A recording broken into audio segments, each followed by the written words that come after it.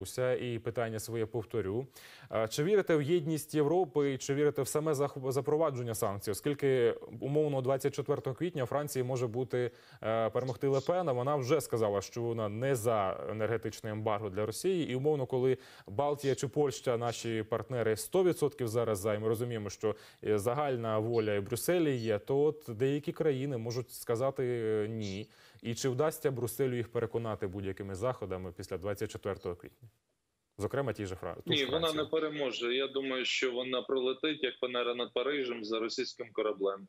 Ми повинні вірити в наших союзників. Ми повинні розуміти, що наші серця повинні битися в унісон, і ми повинні бути єдині. Лише разом ми можемо побороти оцього ведмедя, який своїми кривавими руками, а вірніше лапами, хоче знищити е, реалії цього часу тому що імперія вона по-іншому працювати не може. Їй необхідно рухатись вперед, по-інакшому вона гине.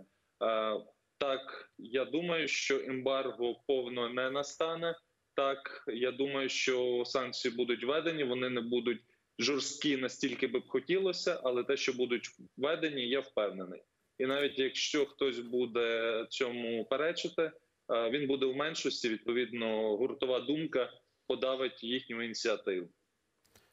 Ну, тим часом, поки є оце вугільне ембарго, поки на часі нафтове, є ще деякі питання газу. Зокрема, бачив е, повідомлення про те, що е, і Сербія хоче зменшити залежність від російського газу. А от тим часом е, певні заходи і Румунія вживає, намагається розблокувати припинені проєкти з видобування природного газу в Чорному морі у пошуках енергонезалежності від Росії. Керівна коаліція країни планує внести зміни до законодавства щодо операцій на шель на шельфі. Пише Блумберг. Це має зменшити ставки оподаткування та дозволити податкові пільги для для стимулювання інвестицій. Очікується, що щорічно в рамках проєкту буде поставлятися близько мільярда кубометрів газу. От ці процеси пошуку замінників Росії, бачите, Румунія хоче е, скористатися тим, що поряд з нею. Умовно, Італія з Алжиром домовляється, і теж там чи не 40% е, постачі вже передбачили оцю заміну російському газу. Те, що є тепер переорієнтування оці на інших постачальників, на скраплений газ, цей процес е, наскільки в часі довгий і наскільки швидко Європа справді може позбутися від е, російського газу? Бо здається, навіть Путін днями казав, що е, це реально, хоче доволі довгувати. Це є довго, це є ну, це затягнуто в часі. На це розраховувати себе дурити. Ми розуміємо, що лише оцей конфлікт на території України згасне, вони повернуться до прямих перемовин. І я думаю, що Російська Федерація буде відновлювати в першу чергу торгівлю своїми енергоносіями. Вони можуть дозволити собі е, запропонувати світу вельми цікаві умови. Відповідно, немає жодного злочину, який не пробачить капіталіст е, Російської Федерації за е, 300% прибутку. Говорив, говорю і казати буду. Давайте будемо адекватними. Давайте розуміти реальність. Ми повинні вирішувати свої проблеми самостійно, уповати на те, що хтось е, своїми санкціями покладе їх на лопатки. Так, це допомога, але ну це є таке додаткові аргументи у цій нерівній боротьбі між Україною і Росією. А так, зброю в руках боронити рідну землю.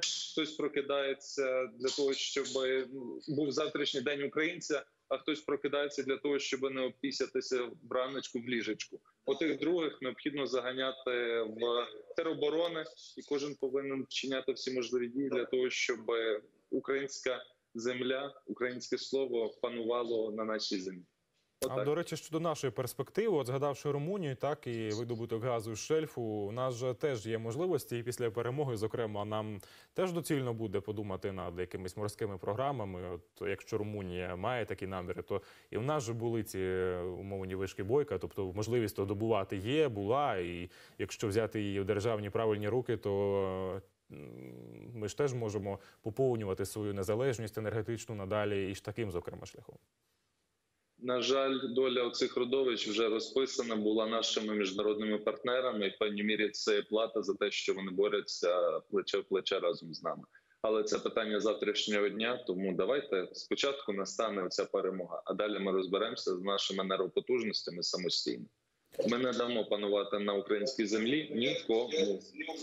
Ну, І додамо ще інформації. Міжнародні експерти тим часом слідкують за поставками нафти з Росії, щоб не дати їй обійти санкції. Інформацію групі надають як міжнародні фахівці, так і урядовці інших країн та навіть розвідка, заявив радник президента Олег Устенко у коментарі виданню Економіст. Нині групі експертів вже вдалося виявити постачі казахської нафти, які, як вони вважають, містять частину таємно завантаженої російської.